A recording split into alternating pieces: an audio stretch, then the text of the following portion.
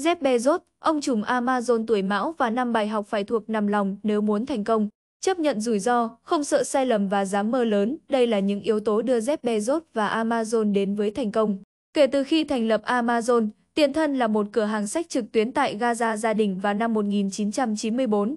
Tỷ phú Jeff Bezos đã biến cửa hàng sách online thành đế chế thương mại điện tử hàng đầu thế giới với vốn hóa nghìn tỷ USD cùng khối tài sản dòng cá nhân vượt hơn 116,9 tỷ USD.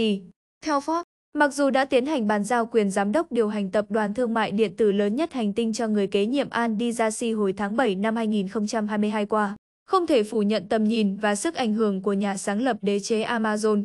Trong suốt khoảng thời gian giữ vai trò xếp tổng của Amazon, Jeff Bezos thường xuyên chia sẻ những lời khuyên và bài học kinh nghiệm của bản thân thông qua các cuộc trả lời phỏng vấn và thư gửi cổ đông hàng năm.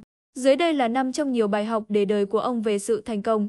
Chấp nhận rủi ro. Khi bạn nghĩ về những điều bản thân sẽ hối tiếc lúc 80 tuổi, chúng hầu như đều là những điều bạn đã không làm. Rất hiếm khi bạn hối hận về điều gì đó mà bạn đã làm dù thất bại, không hiệu quả hay bất cứ điều gì. Bezos nói trong một cuộc phỏng vấn năm 2018, triết lý đó đã giúp định hình cuộc sống của Bezos trước khi ông thành lập Amazon. Thời điểm 30 tuổi, Bezos có công việc đầy triển vọng ở phố Wall tại quỹ đầu cơ DESO, nhưng ông đã nhìn thấy sự hứa hẹn trong tương lai của nền kinh tế Internet và nảy ra ý tưởng lập nên một hiệu sách trực tuyến. Sếp của Bezos đồng ý rằng ý tưởng này có tiềm năng, nhưng ông vẫn cố gắng thuyết phục Bezos rằng sẽ ít rủi ro hơn nếu tiếp tục công việc mà ông đang có. Tôi hình dung mình lúc 80 tuổi, nghĩ lại cuộc đời mình trong một khoảnh khắc tĩnh lặng, tôi có hối hận khi rời công ty này vào giữa năm và bỏ tiền thưởng hàng năm của mình hay không? Vị tỷ phú nói, và Bezos đã quyết định thực hiện ý tưởng của mình, thành lập Amazon ngay tại một ga ở ngoại ô vào mùa hè năm 1994. Trang web đi vào hoạt động một năm sau đó vào ngày 16 tháng 7 năm 1995. Tôi không nghĩ rằng mình sẽ hối hận vì đã cố gắng và thất bại. Và tôi nghĩ rằng mình sẽ luôn bị ám ảnh nếu quyết định không cố gắng, Bezos nói vào năm 2018. Vì vậy, ông đã chọn con đường kém an toàn hơn là theo đuổi niềm đam mê của mình và cảm thấy tự hào về nó. Việc tưởng tượng bạn lúc về già 80 tuổi ngồi nghĩ lại về cuộc đời cũng như những lựa chọn mà bạn có thể hối hận cũng tốt cho những quyết định mang tính cá nhân.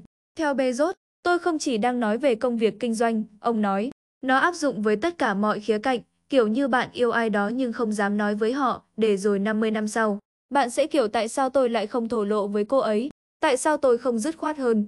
Đó cũng là một điều hối tiếc trong cuộc sống mà bạn sẽ chẳng thấy hạnh phúc gì khi kể lại câu chuyện cuộc đời mình. Đưa ra các quyết định phù hợp một cách nhanh chóng. Trong thư gửi cổ đông của Amazon vào năm 2015, ông từng viết về tầm quan trọng của tốc độ và sự nhanh nhẹn trong việc biến Amazon trở thành một công ty lớn đồng thời là một cỗ máy phát minh. Hầu hết quyết định ông đưa ra đều không thể đảo ngược, nhưng một số thì không, ông thừa nhận. Hầu hết các quyết định đều có thể thay đổi, đảo ngược, chúng là cánh cửa hai chiều, ông viết. Trong trường hợp khi bạn đưa ra quyết định không tối ưu, bạn sẽ không phải gánh chịu hậu quả quá lâu từ quyết định đó.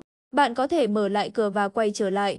Tuy nhiên, những loại quyết định đó nên được đưa ra một cách nhanh chóng. Những nhân sự hoặc doanh nghiệp dành quá nhiều thời gian để cân nhắc về việc có nên đảo ngược quyết định hay không có nguy cơ bị đánh giá là chậm chạp, không biết lường trước rủi ro, theo cựu CEO của Amazon.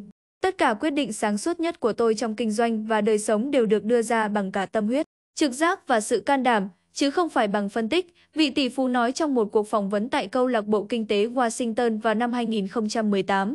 Tìm ra niềm đam mê của bản thân. Tìm ra niềm đam mê của bản thân trong cuộc sống là mấu chốt trong lời khuyên mà Bezos thường đưa ra cho các nhân viên trẻ cũng như bốn người con của mình. Vị tỷ phú nói tại diễn đàn lãnh đạo năm 2018. Nói cách khác, tìm cách tạo dựng sự nghiệp từ niềm đam mê là thành công thực sự theo quan điểm của Bezos. Và ông tin rằng mọi người đều có đam mê.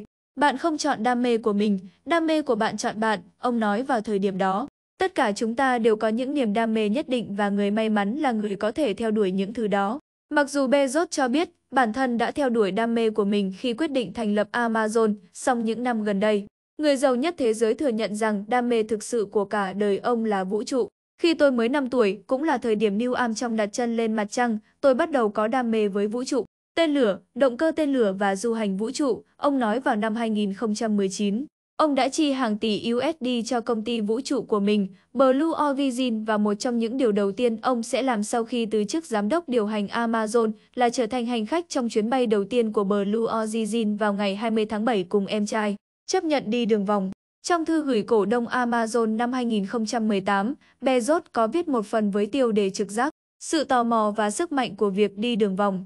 Trong đó, cựu CEO của Amazon đề cập về tầm quan trọng của việc dành thời gian để khám phá tính hiếu kỳ của bản thân nhằm đưa ra các giải pháp và sáng tạo cho mọi thách thức. Theo Bezos, một trong những bài học mà ông học được khi xây dựng Amazon là thành công có thể đến thông qua sự lặp đi lặp lại, phát minh, khởi động, phát minh lại, bắt đầu lại. Con đường dẫn đến thành công là bất cứ điều gì chứ không chỉ đường thẳng.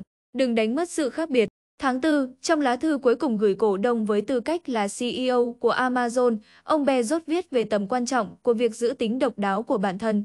Chúng ta đều biết rằng sự khác biệt hay độc đáo là thứ rất có giá trị. Chúng ta đều được dạy để là chính mình.